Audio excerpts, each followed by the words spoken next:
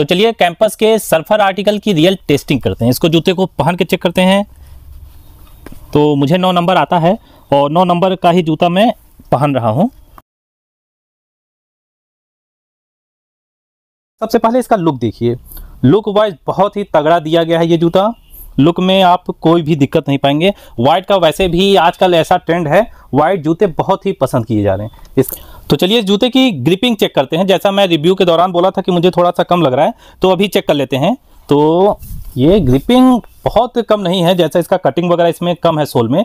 तो मुझे लगा था कि ग्रिपिंग आपका कम होगा, लेकिन उतना ज़्यादा कम नहीं है। हो सकता है धीरे धीरे पहनने के बाद जब इसके चिकना हो जाएगा सोल तो हो सकता है ग्रिपिंग कम हो जाए। फ़िलहाल अभी तो ग्रिपिंग इसमें बना, बनाया हुआ है।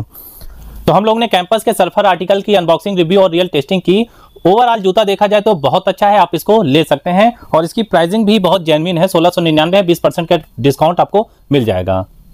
होप ये वीडियो आपको पसंद आया होगा। पसंद आया तो वीडियो को लाइक करिए कमेंट करिए और शेयर करिए अपने दोस्तों के साथ। धन्यवाद। जय